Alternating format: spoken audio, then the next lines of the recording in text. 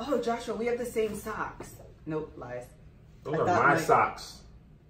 You did that to yourself. You're doing great. Why won't you get? I bought you some socks when we were in New Orleans. Is that my water? It doesn't even matter. Women don't want this on their stuff. They You want bought- your stuff. I bought her sock because This is the obviously it's a sock problem. But Hey y'all, so listen. this week we are in Charlotte, hence the background. hence Melissa sitting on this side of the bed so she can get warm. It's all of these things that are occurring. Uh, so what we want to do, of course, as always, is shout out our sponsor for the tour, the Love and Laugh Hour tour, um, and that is African Pride. You will get a full-size box with all of these wonderful, great products, and I get testimonials all of the time from people who actually use the samples, and they say that it is amazing. And FYI, I'm thinking about going natural again pray my strength we'll figure it out in the meantime between time if you're interested in winning this box please all you have to do is comment. We're going to go with youtube again and all you have to do is comment african pride. We'll randomly pick a winner send you out a box and that's it. I'm trying to win a box too. Let's start the show. all right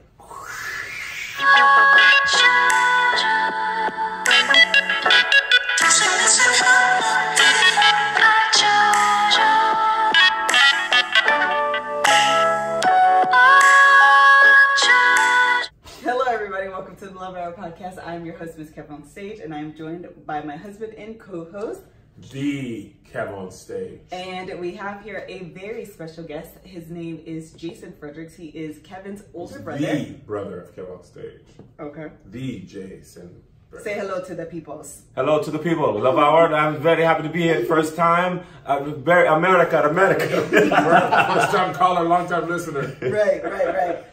Um, so we're gonna get into a pretty heavy episode. So I don't know, maybe have a box of Kleenex with you. No, we're not gonna cry. I'm not crying. I'm not crying. I, I didn't want to do this episode, so I'm I'm not gonna feel my feelings. I will not be vulnerable. No, no, no. All right. So what we're gonna do, um, as always, is start with the this or that question. Are you guys ready? No, no, no. This- I say yes. Okay, this is all right. Shout out to Kirk Franklin.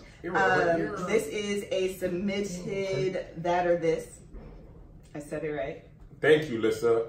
Uh, people been getting on me about it. Okay, here we go. Would you rather be effortlessly, breathtakingly gorgeous for the rest of your life at any age, but no matter what you do, you cannot break twenty-five thousand dollars a year? Oh shoot. Or be extremely rich, making seven to eight figures effortlessly, but absolutely unattractive for the rest of your life. Make me ugly. If you are attractive and broke, hold on before you get to your Make question. me sultan of ugly. Nothing will help you make more money. Not modeling, marriage, or extracurricular activities. You just walking around pretty. You just Or handsome. know. Yes. No matter what you do or who you do it with, you will still individually and or collectively never break $25,000. That is your ceiling. If you are extremely wealthy but unattractive, you cannot use any of your money. You cannot use any of, or anyone else's for favors to have done on your face or body or alterations made to your appearance ever. You guys are amazing. Love your podcast and blogs. So much needed and appreciated. We love you. And happy anniversary. Thank you. All right, your answers, please. Who's first? I'll be ugly. You're gonna be broke. Bro, I mean, no, I'll be you'll rich, be rich and but ugly. ugly. because money shapes the way people see you. Ain't no Money. ugly millionaires. Power. I'm be- cute. Uh, Jay Z. Jay Z. That's I was going there. There ain't no ugly billionaires. I'm cute. He said billionaires. Okay. That's what I'm saying. Yeah. Lil Wayne, Seal. There's a lot of ugly men who make like I don't even know how handsome I am. But shoot, me and You're Brittany ain't. handsome. I'm cool. My beard don't fill in all the way. But no, and that's more to life than being handsome. True. People without Like uh, money. who aren't handsome or have better personalities, they're more fun to be around. Pretty people just be like, "Oh, look at me, I'm pretty, uh, I'm handsome." Okay, so you that's your answer. Yeah, make Broke. me ugly. I mean, uh, wealthy but ugly. Yes. Yeah. Jay. I'll be a dog. We I fail know, for right. Joshua. Man, get that. Get the money. The money make is the power. Okay, money is the power. I think I'm gonna go with. I think I am too. I don't know that I really. Actually, I don't know. You would not be pretty for 25k. I'm trying to think of the life that you can have for twenty five thousand dollars. You can't. We made that money before. That's what I'm saying. we like, Remember when Fine. Lisa worked in the lunchroom at the kids' school? yeah, you know You the hairnet? With the hairnet on. That's what you Lisa, be you ain't gonna do no twenty five thousand dollars. Why would you say that? Because that's we made that money. when We were first married. But how, do I have I ever experienced this life? No. If I only know the life of twenty five thousand dollars, What what what will being pretty do for you? I don't know. Get you the billionaire that's ugly. No, you can't use it for your personal gains. It's not personal gains. It is personal it's, gains. it's looks. If No, I look upon no. a woman You know and see the know. twenty five thousand, I shall take her unto you. Yeah. Okay. I'm gonna go with ugly. I shall take her to me. Nah, At least nah. then I can do what I want to do. Yeah, nah, I do what I want. Nah, I do what I want. Yeah, we're gonna go with that. Okay, so final answers that are in. So ugly, now- ugly, ugly. We're all just over Oh, I here. think Yeah, when you get to a certain age and you understand the value true. of money, Yes. you know, then you you realize that looks aren't everything, and that you can be for men, you can be a provider, you can do everything that you want to do as a man. It's gonna go beyond the looks. So, Man ain't a personality. right. Beauty's not a personality, And but what I beauty was is is is um subjective. It is, and but what I I think what I was like kind of struggling with is the idea that sometimes beauty is power. Like pretty privilege is a thing. Oh, for sure. But in her like, let me explain, she kind of took away the power that is Yes. beauty. So then you lose that. Beauty's only skin deep. Yeah, Right. yeah, yeah. Okay, here we go. Ready? Oh. Kevin has all types of anxiety about this episode. I ugly cried so bad on that Periscope when I was talking about Jade. Yeah. I don't want to feel that way. I what we're gonna do today is We're don't gonna cry, do it. Kev. I'm not crying. I'm not gonna cry. He's my brother and I love him like myself. He's my brother and I love him like myself. We What was never- that on? Brother, Brother to brother, Brother, yeah. on BT. I remember. They, they were trying to be new pop stars, and them dudes were like 35. They were fighting What? and stuff. right. That was terrible. We thought they were gonna make it. They were like, hold up, did. y'all are 35? But they kept, they the couldn't show. get, they were just arguing too much. Yeah, they were fighting. Too much internal. They Where are they now? inside Brother to brother, if you guys are in the comments, please tag us. Oh, we'll do, y'all want to be booked? We will do the conference. We'll do the conference. right, right. Get at me, brother to brother. I need, to, I need to help people. Okay, here we go. So what we're gonna do today is talk about. If you don't know Jason's story, he was diagnosed with melanoma. No. Mesothelioma. That's what you get when you watch TV like that. That was that Salmonella? How do you say it? Multiple Multiple- myeloma. Multiple myeloma Multiple myeloma in 2017. in 2017. July. Hey, was it two 2017. years already? Yeah, July 2017. Um, probably about July 9th. Don't say probably about and then have an exact date. Yeah, I just remember because we got in the, me and Julian got in the minor car accident. Okay, wait before you go there. Okay. Okay, yeah, we're already starting. Okay, This so, is Jan's tier, so that doesn't count. I'm still holding fast. So Jason was you're holding fast. Okay, Jason was diagnosed with multiple myeloma in July of 2017, Yeah. And from there, obviously, there's like a roller coaster of events that happen and a roller coaster of emotions. I would imagine that also happened. Right. And so we want to talk about obviously when you say your vows and you get married, one of the things that you know the common traditional vow is in sickness and health, better and worse. And um, there's nothing like a diagnosis such as cancer to like test um, what that means, like have that like actually Yeah. tested in real life. So what we want to do is kind of go through and discuss um, the diagnosis, how it affected you, how it affected your marriage, how it affected your family, um, and like all of that. Okay.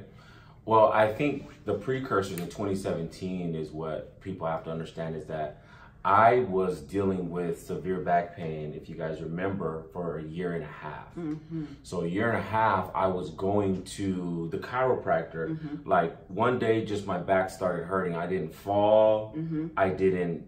I anything. You know, playing basketball. I didn't do anything rough. It was almost like like uh, you woke up and you slept wrong. So I thought I was slept wrong. Like, oh, my back just been bothering me, just bothering me, bothering me. Then after a while, it's like, okay, I'm gonna go to the chiropractor. Because when your back hurts, you go to the chiropractor. I remember actually you that period of time where you were like constantly complaining about your life. I mean your life, your back, and then um, constantly going to the chiropractor. I actually Yeah. distinctly remember that. Yeah, I was just. It's almost like there was nothing else that I could do. Was it helpful, You know, or did you- it provide relief? I thought it was, and um, I, I, you, because it's supposed to. Mm-hmm. You know what I mean? So it's like they were doing something. They could find some stuff in my back um, that were like, yeah, this is wrong. But chiropractors do that anyway. There's all if you go to a chiropractor, they're gonna be like, you, you ain't aligned. Mm-hmm. You know, you ain't in the will of God. In that alignment, gotta get that alignment. Yeah, you're not. So they can always find something. What was when I look back? What was um, strange to me? My doctor kept saying, "You should be better by now." Mm. But I, he was like, "Keep coming. We're gonna keep working on it." The keep doing it." chiropractor doctor. The chiropractor doctor. He was a good doctor too, Good, good, clean. and good, good, clean, wholesome. and so, um, it, it was. I, I- I kept going there. He didn't recommend you go to an actual doctor. No, because based off everything he saw, that I, that's what I should be doing, Mm-hmm. and that's where I was having the pain, and you know, it was it was uh, the randomness of the pain, like nothing had happened, so there was no. Was it chronic back pain or was it just like spurts? No, it was it was chronic. Like it had got to the point to where I was walking like hunched over, like after a year. And then I, I had started going to massage therapy. I went to massage envy. Yeah, yeah, brand deal right there. Um, went to massage envy. They were taking care of me. Like everything was like trying to soothe. You know what I mean? Like, cause I was in pain. I was in pain. And you know, coaching. I was coaching basketball from the sideline. And I'm a person that's never been sick. I don't take. I don't pop medicine. I don't. You I don't. Percocets? Mm, Not I a don't pop. Mm-mm, I don't pop perk Not a anymore. Percocets. Not ever. And so ever. I was having either? to. Huh? You never drink? No. Oh. yes, I did. um, but I would. I was having to take like two of these. Sometimes I would take four and not tell nobody just to try to like get my that. yeah. And so anyway, I was going through all that back pain, and then um, I wasn't going to the doctor thinking I'm going to the right doctors. Um, and so it was getting to the point in July of 2017 Mm-hmm. that Julian and I got in a minor car accident. Right. And so when we got in that car accident, everything was cool. Like, I, I mean, my car is messed up a little bit, but um, the only reason I went to the doctor was because the next day Julian was complaining about a headache. And so because um, it wasn't my fault and we were going to get more insurance money, um, if I took him there to get seen, I took him to get seen and, and really make sure he was okay. And then to make sure I got more insurance money, I also got checked. So While we're greed here. was since Greed and While we're capitalism here. is what, help, what got you help. and an insurance claim, yeah, pretty much. Oh, yeah. So no, but you know, you're, you're just doing the due diligence, just stuff what you're supposed to do, make sure you're fine. And so that that day, I distinctly remember, and it's ironic we're in North Carolina today. Um, I distinctly remember that we we were going to eat, got hit, and I was like, okay. The next day, um, so we couldn't go eat, right? And then so um, we actually made it to the restaurant. They were closed after. Next day, um, we were gonna go try to out go out to the same place. I was like, well, we're gonna stop at the hospital. It's not gonna take long. We're gonna get you checked out. We're gonna be good. So we got Julian checked out. It took him like 30 minutes. He was like, he's fine. They and I was like, um, well, I, I was in the accident too. Either like you should get checked. I was like, okay, fine.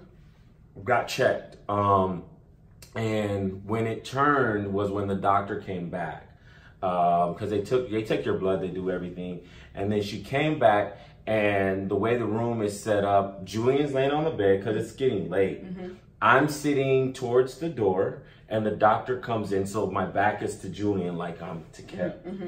And so um, she says, "Well, can I talk to you?" And I said, "Yeah, well, well, yeah, talk to me. Yeah, right. You know, yeah, I'm, I'm here. here to talk, She said, talk. "Well, yeah." And she's, um, "Well, can I? T- am I free to talk f- freely in front of your son?" of son. And then I s- and I kind of mouthed to her, and I said, "Is I was like, is everything okay?" Mm-hmm. But I, cause I, you know, I, Julian gets scared, and so she was like, "No," and I said, She said no. no, she did. She said no. She said, um, I don't know. Yeah, and she said no. Still yawning. This is all yawn. All yawn. And I said, um, okay, okay, well, what's it? And, I, and she said, and I said, just go ahead and talk. It's it's fine. Because in my, there's no, I don't know what this woman's Right, gonna say. right, right. You know what I'm saying? I shouldn't have no STDs. I've not been doing nothing. I am fine. I, I promise. I don't know what you gonna say, but Right. it ain't gonna be It that. ain't gonna be that. It ain't gonna be that. So she says to me, I looked at your um she says you're, and she reads the chart, you're 37, you do not drink, you do not smoke, right? Right. I'm reading this. Um, you seem pretty healthy. You're not obese. You're not anything. I'm looking at your x-rays. They look horrible. And I was like, okay. She says, have you been having back pain or anything? And I mm. said, yeah, mm. I ah! have She was a prophet. profit from on high. And so I was like, yeah, I've been going to the chiropractor because back pain. Do you see that? They've been working on your boy. Yeah, yeah. She says, well, your bones look really bad, but I think that I, it was, it's so bad that I'm going to do it again. Mm, like this can't be real. Yeah, let me let me take your X-ray again. The machine's off. That's how bad it was. She said, "I'm gonna take it again. I'm gonna do some other tests too. Then let's talk about it from there." And I said, "Okay, cool." So we do we do it again? We, you know, run it again, Jose. run it again, and she comes back, um, and uh, she says, and again she's facing me. She says, "I need to talk to you." And I said, and she said, and I said, well, can we, you can talk. It's fine because I'm ready to go. My son is hungry. She said, uh, you, you're not going to be able to leave. Mm. And I said, what do you mean? I'm not going to, I don't have no warrants. I don't get, there ain't no police coming to get me. Ain't nobody coming to get your boy. and she was like, no. She said, um, your, egg- your bones look like, it's exactly the same. Your bones look like you're 70 years old. Mm. And I said, okay. And she said, it looks like termites have ate away all your bones. You have lesions and holes all over your body, like all on your bones, like everywhere. And. Yeah. and I was like, what? Juju's there? Juju was right there, and he, I can feel him sit up. Mm. And then I was like, she's like, I'm gonna have to admit you to the hospital. I said, why? No. Why would you say no? I'm like, cause I'm like, I'm like, I want to go What's home. what to do tomorrow? Yeah, like I'm like, what do you what are you talking? like what you This mean? can't be real. I have. And I said, to okay, what is that? Like, what is that? What you're saying? And she says, that to me looks like cancer. But I'm in the ER, so. He said, but I'm in the ER. Look that way. Nothing's over there. Nothing's over there. I'm looking at these trees. Uh, but I'm in the ER, so I can't give you that. I'm not a cancer doctor. I'm a doctor, Mm-hmm. but I'm not the cancer person. I don't want to go there. But if it's me, that's what what I'm that saying. is. And she said, "Let me show you what I'm talking about." And she said, "Your your X-ray is supposed to be like white. You know, Mm-hmm. you see the gray. There was no white on mine. That's everything that I'm looking at, and that's how bad it is." And I was like, "Dang." Um, Can we pause for just a minute? Before we continue, really quickly, we want to tell you about one of the sponsors for the Love Hour podcast. It is Rothy's. They are friends of the podcast. We, you've heard us talk about them before. They offer amazing shoes. I have a pair. They are quite quite comfortable. It literally feels like you're walking on air. I have um, the black silhouette kind, just all black, plain silhouette. But if you are a person that's more stylish than me, child, they have all types of styles. They have varieties. They go great with yoga pants, dresses, skirts, and they come in a wide variety of colors and patterns, and they're available in four different silhouettes. That's called options. Plus, they're constantly launching new styles, so you're guaranteed to find a pair that you will love. Since Rothy's are seamlessly crafted from recycled water bottles, they're ultra comfortable as soon as you slip them on. That's right, there's zero break-in period in these shoes. That's actually 100% true. You, you wear these shoes and they feel like they've already been like cracked and molded to your feet. Yeah, pre-worn, like so comfortable. Rothy's are manufactured in zero waste factory and they ship directly in the shoebox, so no unnecessary packaging, which is amazing because if you're an Amazon shopper and you get a whole bunch of like packaging at your house, it's your trash can fills up really quickly and that's like super annoying. Um, these are good, feel good flats in more ways than one. Check out the amazing styles available right now at rothys.com slash love hour. Love Hour? Rothys.com, that's R-O-T-H-Y-S dot com slash love hour to get your new favorite flats. Comfortable, stylish, and sustainability. These are the shoes you've been waiting for. Head to rothys.com slash love hour Love Hour. today. Today. All right, continue. Today. Where were we? Um, so this is you don't want to go. I mean, you're ready to go home, but the guy, the doctor is telling lady, you it's a ain't no woman. going home. Okay, so the woman's telling you ain't no going home. Yeah, so I was like, dang, like I think you called us, or maybe the family, or text message or something, either that night or maybe the morning after. the next day. Okay. I gotta text remember. my dad. Yeah, I texted. Dad Well, was the one who told us. funny thing is, I called dad because, mind you, it's probably going on midnight now at the hospital, and I have Julian with me, and they're going to admit me, and um, he knows what's going on, and he's like, I, I, is my dad. There's something wrong with my dad." Okay, let me breathe. And um, so that was tough, you know what I'm saying? Because he literally caught the news with me. And then so they, I called my dad because I needed, I was like, I need, um, You need him to go. I like, can you come pick Julian up? My dad's like, you ain't sick. He said that? He was like, he dad was asleep. So he's like, Just they don't, they in the ER. They, they probably don't know. They're gonna do the test tomorrow. They're gonna keep you in the hospital. All right, I'll be there in the morning. And I was like, okay, all right, Juice is just us. but he would, I mean, mind you, nobody's expecting that kind of call like that. This is what they're saying. He's like, I, I know that's. They're doing that. They probably just give me the precaution. I'm laying down, so let me. What it's gonna be is we gonna we gonna keep laying. Okay, you do what they say. Lay down, rest. You'll be fine. I'll be there in the morning. That'll be in the morning when they Right. do their diagnosis. Right. So me and Jude, um, Slept in the hospital? yeah, yeah, we went, got admitted to the. Um, um, I, at the time, I didn't know, but they they put me in the hospital. Everything was there. We slept in the same bed, you know, kind of together. Just it was our pursuit of happiness moment. We just laid down together, and then I remember I met my uh, oncologist the next day, who's my doctor now, Doctor Nazir. He's fantastic, and um, they had admitted me to the oncology floor. I didn't know that. I didn't. I didn't know. I don't mind. I don't know nothing about this stuff Did you know you you didn't know you were on oncology for? at all. I just thought I was at the hospital. Like, So are you thinking, I mean, I Dr. know they On-Call? said it's, ca- it's cancer, but like maybe this isn't the actual real diagnosis. Maybe in the morning there's a possibility that all of this is a farce and Ex- wrong. Exactly. I'm. My head is still spinning. I'm not going crazy. Mm-hmm, I'm more wanting to go home. Yeah, yeah, I yeah, want to go to eat, eat. and so I was. I was thinking about like, it's still go to the place, you know. So, um, and and and when I met him, um, he he was like, I've been doing this 30 years. I've seen this a lot. Um, Meaning the cancer. yeah, every everything. It's more than just your X-ray. They look at your your your your urine sample. They look at your blood. They're looking at all of that to make the diagnosis. So he's pretty much says, um, I, I I had to stay. I was in the hospital two days. And so that the first day is well, dad came up to the hospital. We met Dr. Nazir. He kind of explained everything again, like this is what we saw, this is what we're looking at, and who he was as 30 years of doing this. You know, he's he's like he knows what he's doing. And so it was more so, um, I'm gonna try to let you out the hospital tomorrow. When I let you out the hospital, do not pass go, do not collect 200, do not go to your house. You come see me at the cancer center immediately. Mm. My question to Dr. Nazir was like, well, where am I in the thing, in the mm. cancer stuff, mm. in the paperwork, you know, on the level?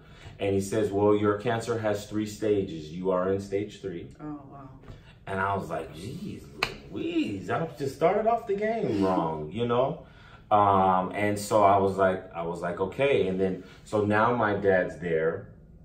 And, you know, my dad's really good at taking information and getting it out to everybody. And so I was like, Dad, just send everybody the information. Like, let them know what you just got.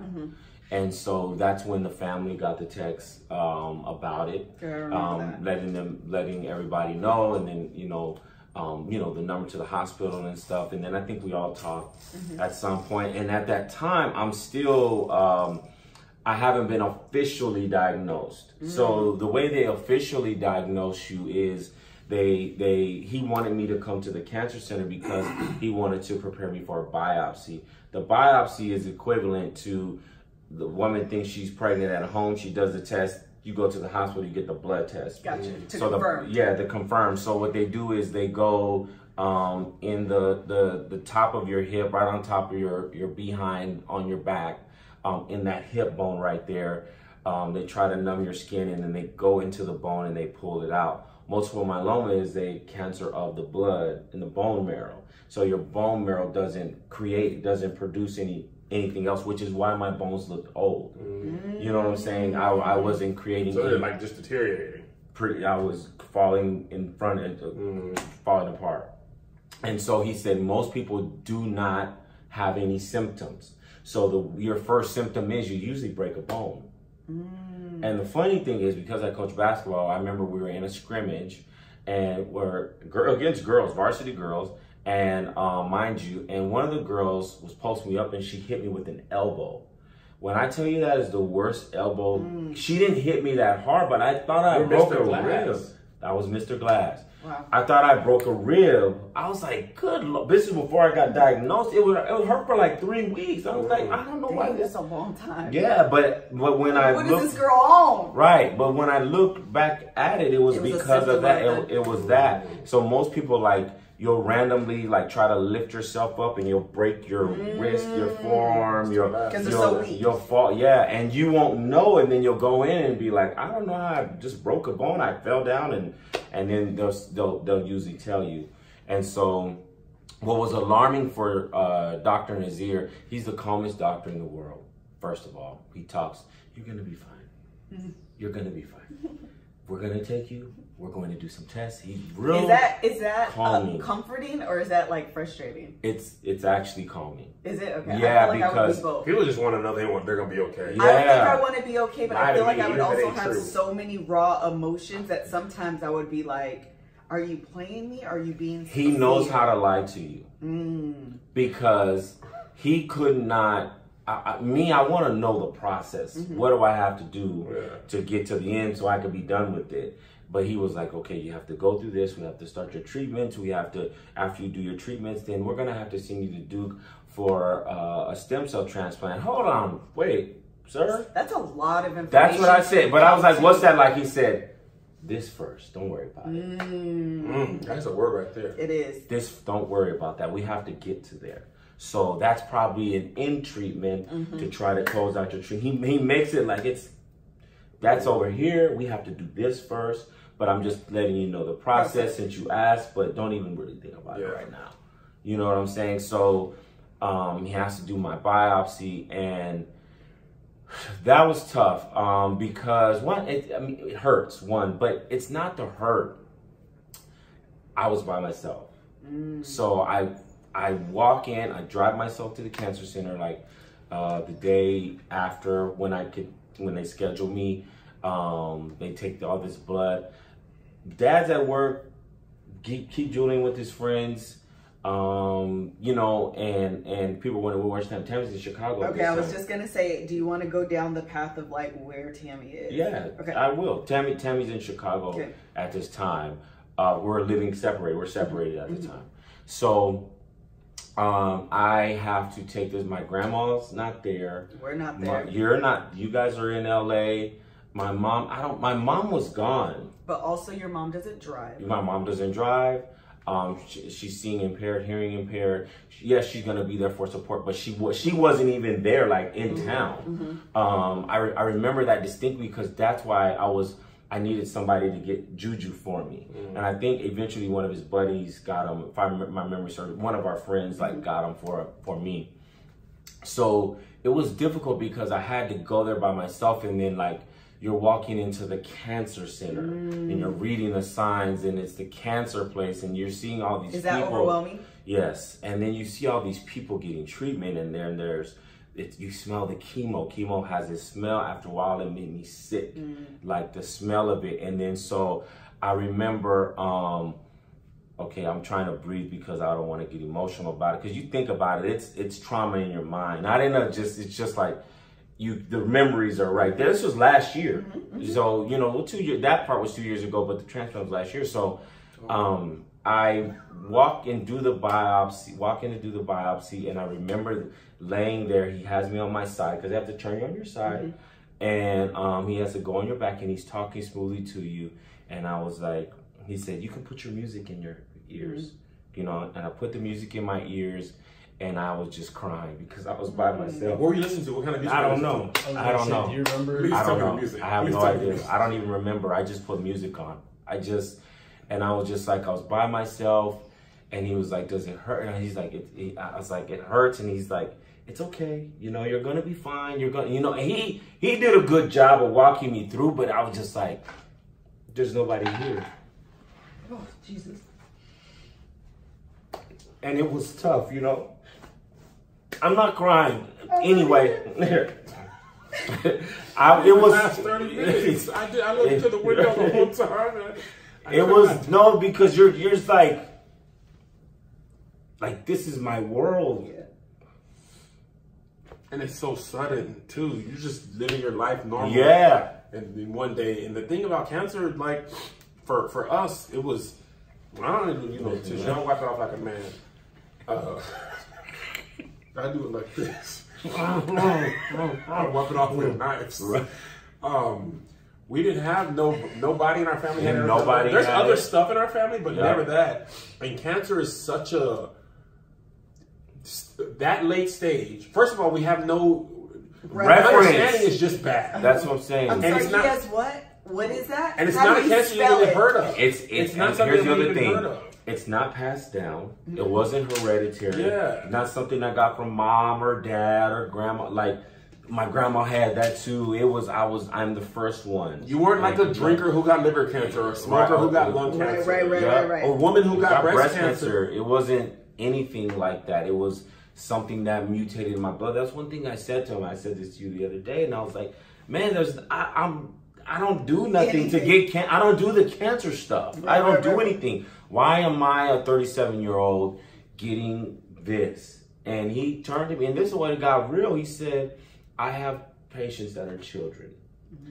And there's no age. Cancer doesn't have an age. It doesn't, Doesn't have a look. It doesn't doesn't discriminate to any age or anybody. Man, woman, boy, child, grandma, grandpa, mom, dad, auntie, uncle, niece, nephew. It doesn't brother, sister. You know what I'm saying? So, it, it, and and that right there let me know I was like I'm I'm just you know an average person, um, but like the laying there by yourself part is like just me and God, you know Okay.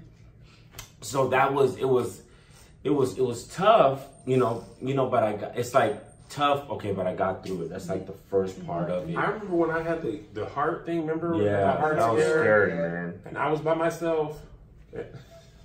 Shoot. and it was just, when you are unsure of what's happening, Yeah. I remember they came in, they did an EKG because I was feeling faint at work at Right. the daycare. I was running Right. around with the kids like I do. And I'm like, man, I feel like I'm going to pass out. And, uh, you know, I drove myself to the ER, and they took an EKG, and they and they were like, oh, snap. And then a whole bunch of doctors came in, and they're like, something's off about this. And Lissa was at work. She couldn't have her Yeah. phone. Everybody, you worked at the state. called You me. could I- have your phone. Nobody could have Yeah. their phone. And I'm calling people, and nobody's answering. Mm-hmm. And they're like, oh, man, this is not like, you should call someone. And I'm calling people, and nobody's answering.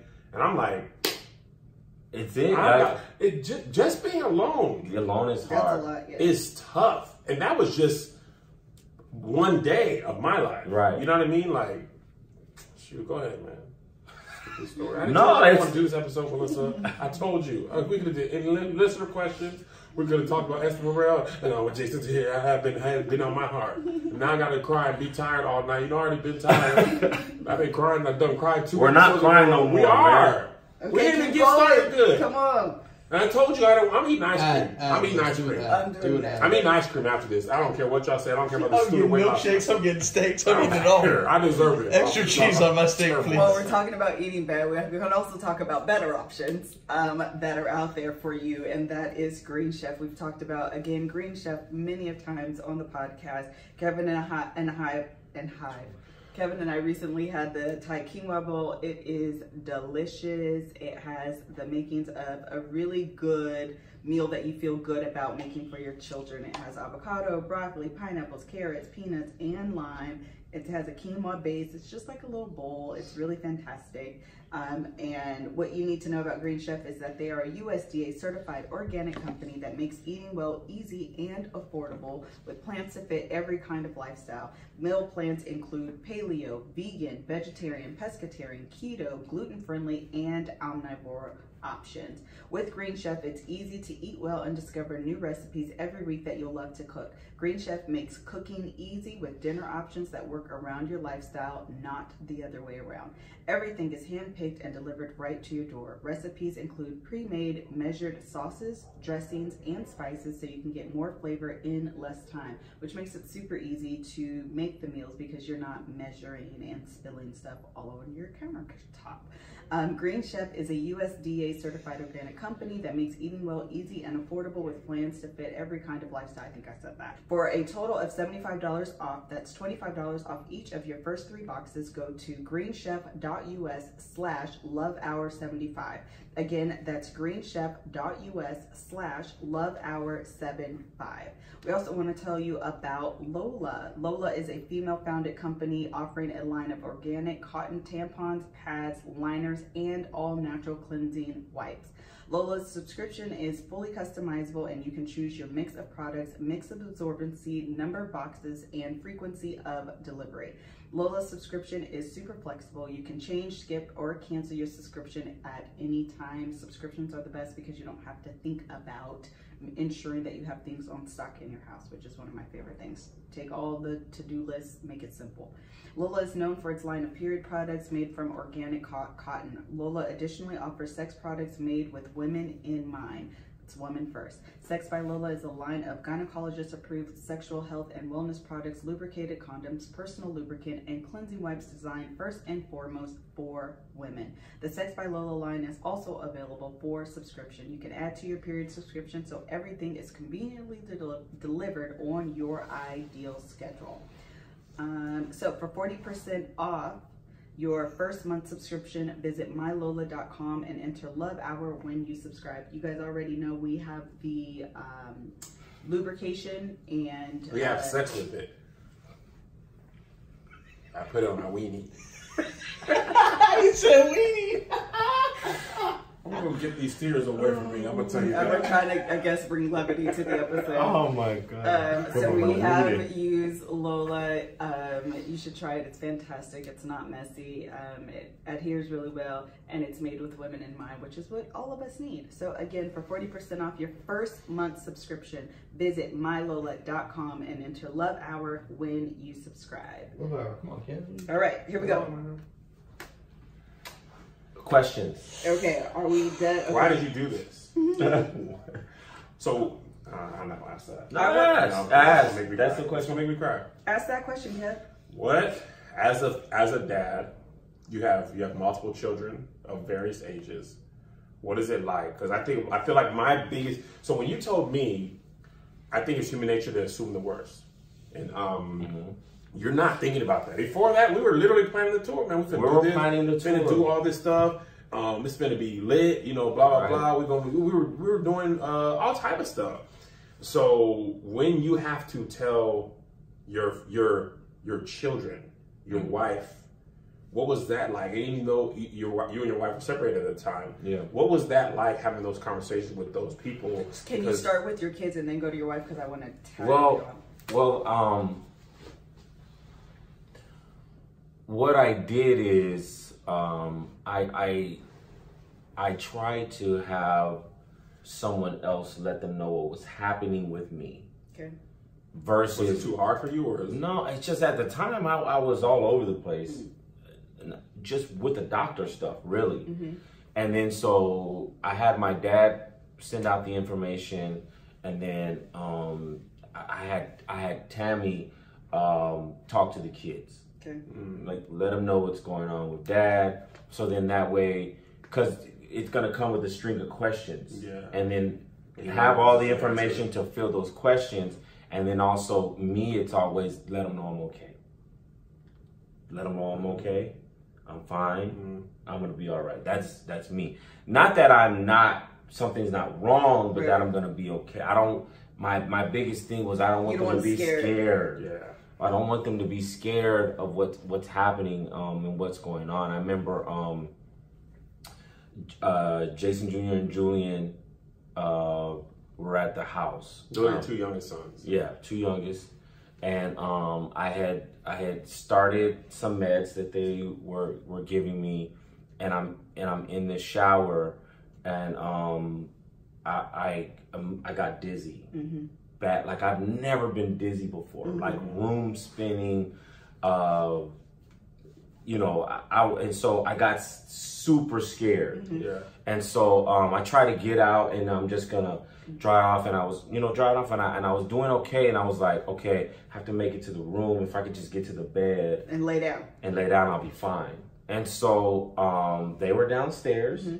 And so I said, okay, I'm gonna go. I got myself together, opened the door um, to walk out and I passed out and I hit my head on the um, on the dresser or something and they heard it and they came up, they ran upstairs and then uh, my mom was downstairs too and i and i just remember telling them get me up so your grandma doesn't know. Mm. because and then i was like and they were like well, are you okay? We heard you hit your head da, da, da.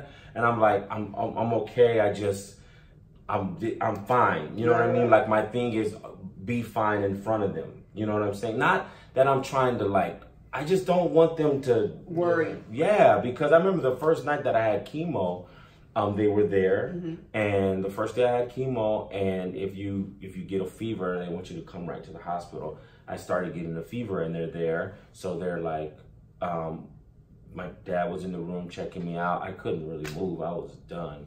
And and um, the boys came in. He's like, "They get out, get out." I was like, "No, no, let them stay."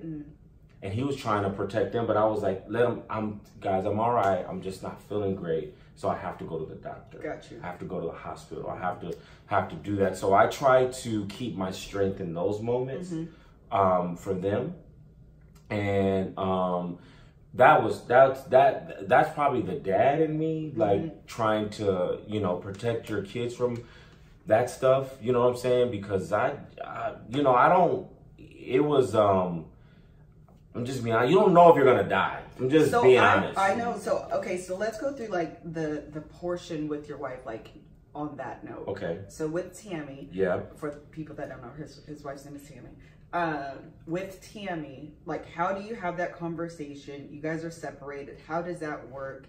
And how are you feeling in the face of this diagnosis in terms of your relationship, what the rest of your life looks like? Like how does that all Well, for, for me, it was um like you know they're they're technically Julian was visiting me. You know, um, It's seven. Yeah, and so um it was you know for her she you know she heard and you know of course we reached out we talked we I mean we talked you know all the time. Not regularly like that but enough.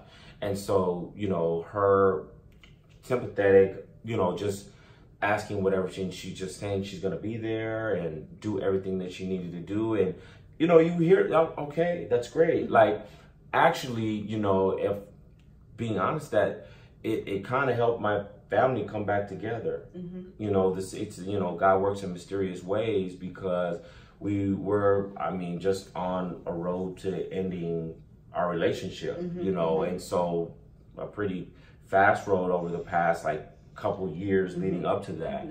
And so which is you know physical separation like literally location separation it was pretty much headed down that way. And then that right there was you know the hail mary the saving grace and it makes you realize what matters. Mm, it talk makes more about that? it makes you realize what matters because all the little things that were the differences in the relationship and the marriage and the family uh, all of that goes out Goes the away. door because now you're dealing with this is what's real The, uh, the other states make the the, the Yeah. current state. I seen this meme going around said if you threw your problems on the ground, everybody threw their problems on the ground, you're more than likely to pick yours back up. Yeah. And when you have a problem like that, that's like an existential Mm-hmm. crisis, and it mm-hmm. makes the other stuff. And it's not that the stuff you were probably going through wasn't bad. Real. It's just in the face of This. literal death. Mm-hmm. It's like Yeah. okay, well you you know we talking about you know you don't whatever you do or Right. don't do. That pro- that probably puts that stuff into perspective. It puts Right. perspective differently than not having that that type of you know threat to your life. Yes, and and and that's what it was, and so um, she just tried to do everything. Uh, Tam- Tammy's amazing that way. She is one of those people that is um, like a natural caregiver. Yeah. Right. The boys are Tammy with is her a right now. natural caregiver. Yeah, definitely, definitely gonna make sure you're taking care of, and that's what she she turned back into that for me. You know, so um, even to the fact of you know I was still I couldn't leave the state if I wanted to because my treatment was in North Carolina and they're in um, Illinois, and so uh, Kayla actually came to live with me um, at the time because, and her and my relationship wasn't the best all the time because, you know, whatever was going on with me and her mother and me and her individually. But she was like, you know, that's daddy's sick. I want to be there. And so she actually came to live with me because she would help me through. There was times at night that Kayla's very much like her mother. I'd be throwing up, she'd be cleaning up my throw up. Like, um, I would run to the bathroom, clean up. She, she would do everything for me. Everything. Everything. You know, like, I, I'd literally be throwing up and, and, and I'd be leaning there. She's over there. She's rubbing on my back. And then she's uh, like laying over me, and then I'll make a joke like, "This is really gross." Huh? She's like, "Yes, but it's fine," and I'll clean it up. Like, don't worry about it. Like, and don't worry about it. Kayla. I need some water. I got it. She knows how to make it perfectly. She knows how I like it. She and she would just they all those things were happening, you know, for me, and it was you know building our relationship. So um, um, like again, I could remember at some point I couldn't travel anymore, so um, they were traveling to see me all the time. Um, but it really got. Um, I mean, so during that time, I mean, of course, you're kind of rebuilding uh, your relationship. relationship on, on the strength of what's happening and what's real. That's what I'm trying to say. What's real meaning what matters. Right. And then when it gets to the transplant time, um, she literally made sure she came back and was there with me all those months, going through that to be my number one caregiver. Um, like you had to go to the hospital, Duke Hospital, and take a class. You had to get all these, make sure you had shots. Remember, you guys couldn't even touch me because you didn't have all the right shots or whatever you needed to see me. So she went through that. Um, and then Flu shot was out of season. flu So shot we was went out to go and it was out of season. Couldn't even like- get it anywhere. Um, you couldn't come near me if you didn't have that. Yeah. We was over Um, here like, yeah. hi Jay. Yeah, and then then um, not only that, even on the financial side, like I'm not being funny. I mean, I wasn't broke, but she was like, "I'm gonna take care of this. I'm gonna like, don't worry about it. Lay down, rest, do your thing. I got it covered." You know what I Yeah. mean? So it was all those things happening at that time. So you know that was the in sickness and in health. I was in sickness. She made sure that to that You she lived no no matter what our situation was that her no matter what her differences were with me she said my vow as a wife was in sickness and in health and she took care of her part in the sickness i listen model citizen You know what's crazy before we get to your part list? It's amazing that usually you would think it's the other way around. Mm-hmm. Like Tell the, the, the health part, we, we argue, and the sickness part, you know, be like, oh shoot, if we ain't good in the healthy part, I'm definitely not gonna be Right. You know, but for her, the sickness part is what like clicked in, like, oh Right. snap, I'm gonna be there for for him, Right. In a way that you know you would normally if everything was on the you know normal situation, but you're separated in that sick, the it, it's amazing how a, a negative thing brought a positive Result. reaction. Yeah, Yeah. positive reaction. Yeah. Um, so we're going to take another break. We're going to tell you about Meltdown by Blume.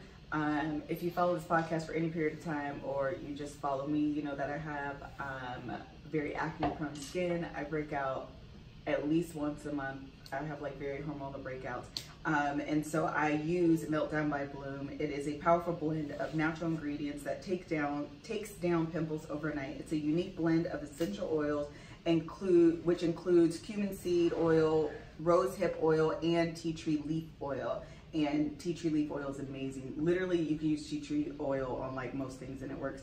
Meltdown reduces the size and redness of pimples overnight and they completely disappear within three to four days. In addition, it does not contain any harsh chemicals, no benzoyl peroxide, salicylic acid, sulfates, or parabens. Um, salicylic acid and benzoyl peroxide is very drying and you don't want because then your skin gets patchy and if you try to put foundation over patchy dry skin it'd be looking a mess you don't want to do that so it doesn't cause skin to peel be dry flake or scar and it even helps with fading scars. It's vegan cruelty free and pregnancy safe.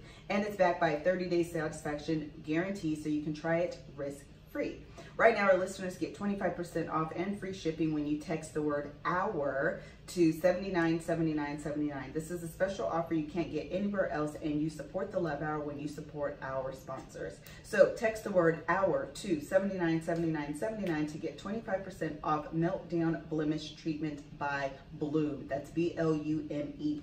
If you don't love it, return it for a full refund. No questions asked. Text hour, that's H O U R, to 797979. Thank you, Blume, for sponsoring the podcast.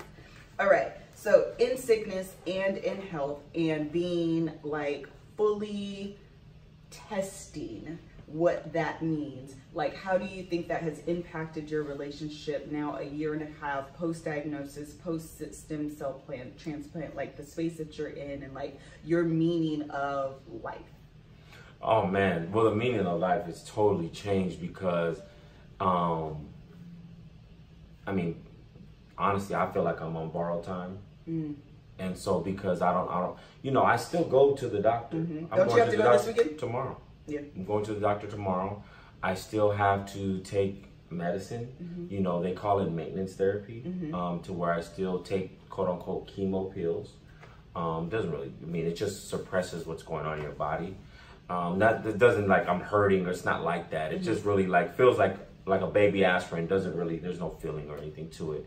And so it's something that I'm gonna be dealing with for my life. So it's almost like Paul, take the thorn out of my side. It's not gonna take it out. And so you're just gonna have to live Live with, with it. this. Yeah, and um, because technically, because they can't kill the gene as of today, they don't call it cured. They they say that you're in remission and that you're doing well. We're gonna keep it like this. This is how we're gonna keep fighting it. Um, and when you do a stem cell transplant, they take enough for two transplants. They take enough out of your body because they expect you. They don't know how many years. Um, they expect you to Like go relapse. back in. Yep, go back in, and then you're gonna need it again. I'm not doing it again. Really? Heck no, I'm listen. Love y'all.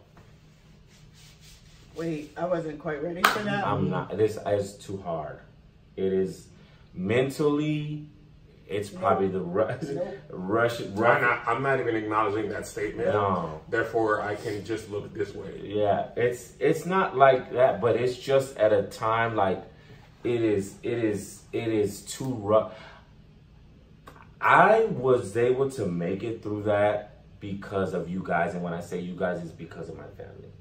Like we had stuff to look forward to. We had the tour stuff. Mm-hmm. We had the stuff that everything like we're doing right now. I, my kids, mm-hmm. all those things. Like like if I wasn't gonna be there to be a dad, who was gonna be a dad? I gotta fight. I gotta I gotta do it. There was time I'm just being truthful. There was times that I said, I can't do it anymore. Nobody knew that. But I was like, I'm gonna keep going. I remember talking to Bishop and I was my boy Landon, um, one of my best friends, and um, he's on the phone.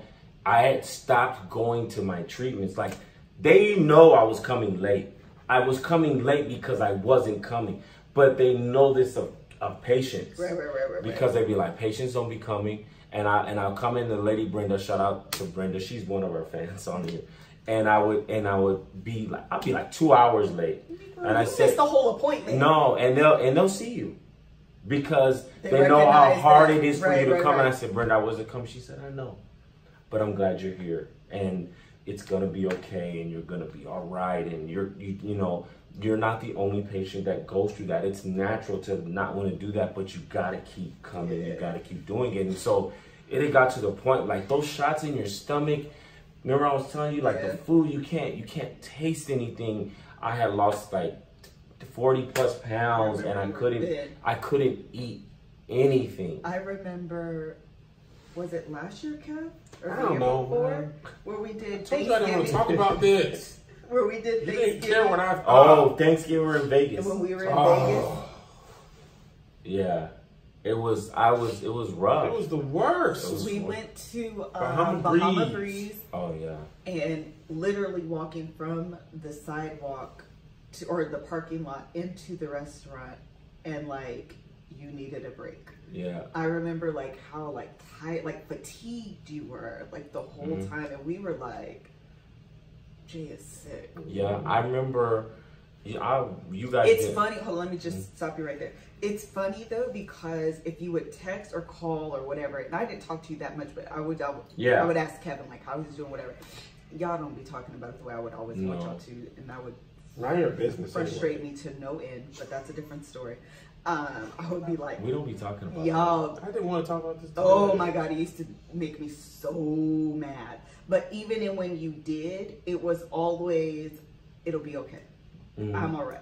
And then to see you, I was expecting some level of like, obviously he's not okay, but I was still expecting some level of like energy. Mm. And so to actually see you, it was like, Mm-hmm. You were like a brittle old man. this is Yeah. not, he's sick, sick, and he's not telling us. And so then I would just text Tammy. Yeah. She was the only one that said the truth. She was 'Cause the dad is one. dad be like, oh, it's fine and God is blessed, you know, all that stuff. And Tam was like, no, he had a terrible day today. Actually, he's actually had a couple bad weeks. Yes. But do this and that. Tam, Tam actually didn't really want you to come on a tour like that this year.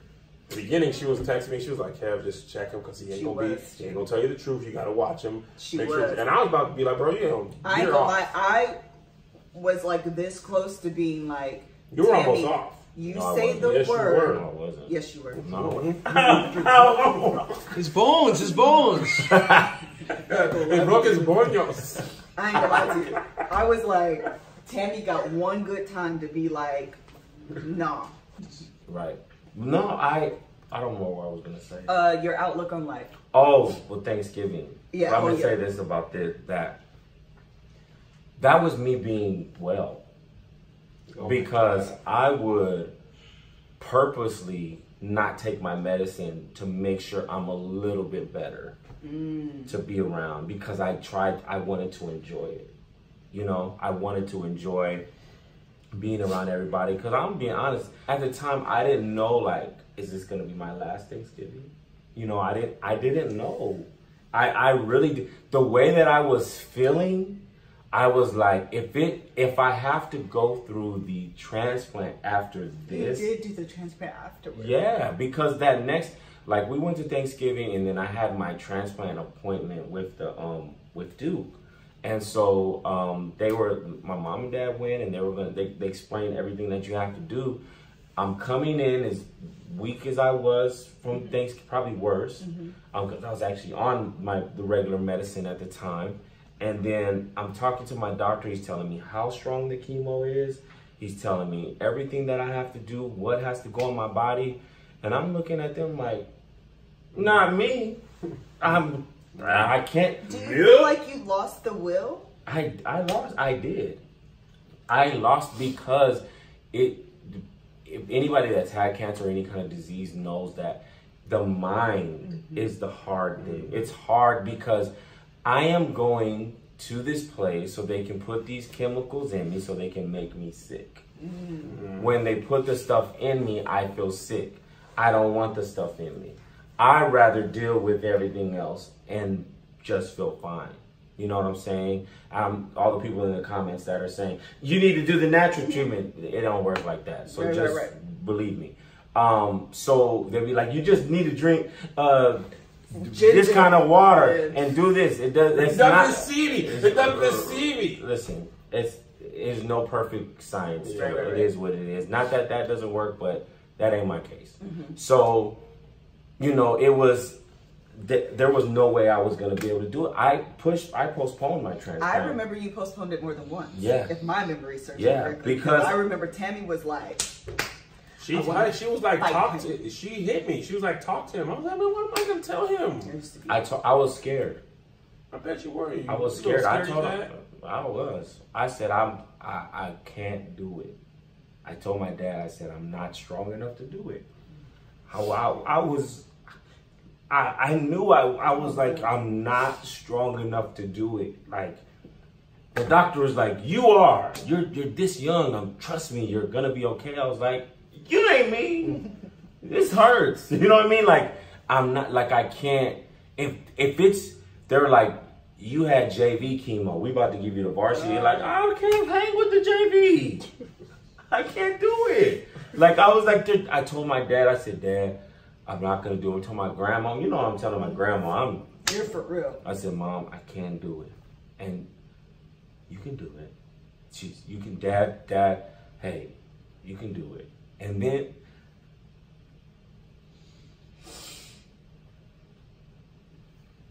you know, when when the kids are like, you got to do it. You gotta, you gotta. We need you to do it.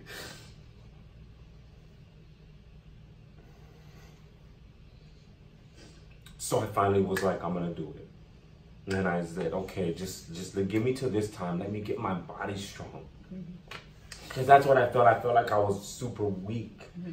Like, and I was like, if I go, it's like, you know, you're trying to train for a fight and like, right. I, I, I needed like, I hadn't been able to eat food. Right, so right. I was like, and you're going to do all this to me. There's no way that I can put all that, like, let me at least like get some food in my body and start eating like, and so they said, okay, we're going to take you off your med, eat, get strong.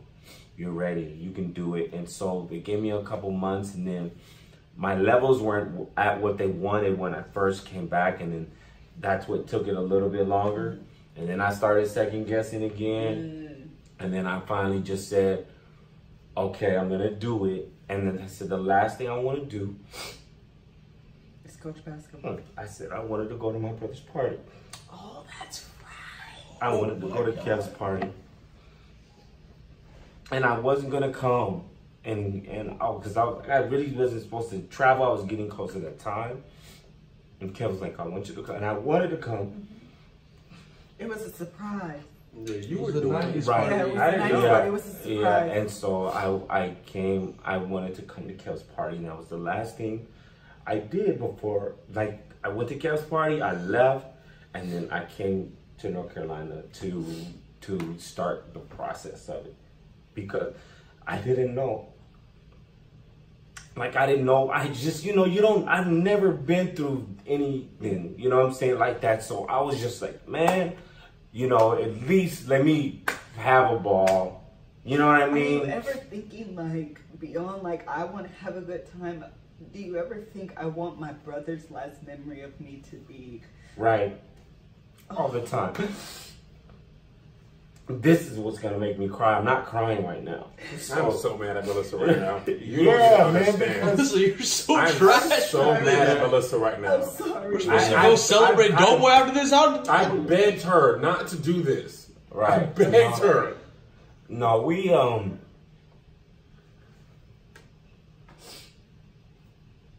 We don't even have the same dad and we feel this strong. Imagine we had the same dad. Stupid. Call No. Dado right now. Come on, You dad know- always. That's why it's so close. He came in and fixed it. He's on Russell Wilson. We had Future as He's dad. Papa Russ. He taught us how to throw footballs. He had slick hair. it's lit. He made the mom Ciara bought her masters. She didn't have the money for her masters. That is so funny. Um no I'm not getting up. Me and Kev are really close. Lissa finds it very odd. It's very hard for us to talk about. Man, I used to be so frustrated. this because it implies that probably our relationship will change. You know, one might not be there. You know what I'm saying? Like we, I don't know what we haven't done together. You know, I mean, I didn't work at ADD. you know what I'm saying? So, I, uh, you know, but like, I, man, you know, like We're just getting our stuff. We Eight worked hard eight- for eight- all this that's stuff. what We're it just is. getting it. 813 Destello, that's our address in El Paso, Texas, in a duplex, mm-hmm. raised with nine people and a dog. I don't know why we had a dog at the time. We'll talk about that. money for the dog. Really Living in have had the bunk beds together. You know what I mean? Like going through it, like the stuff that I'm talking about when we're poor, we played together to like that's where our creative comes from Right. all those things that we did together. You know, the stuff that he talks about that he looks up to me for. all those, you know, that's that's gonna be gone. It's like it's not fair. So it's it's hard to to do it and like for me now, that's why like even in my job or position now, like you're gonna pay my brother what he's worth. Period.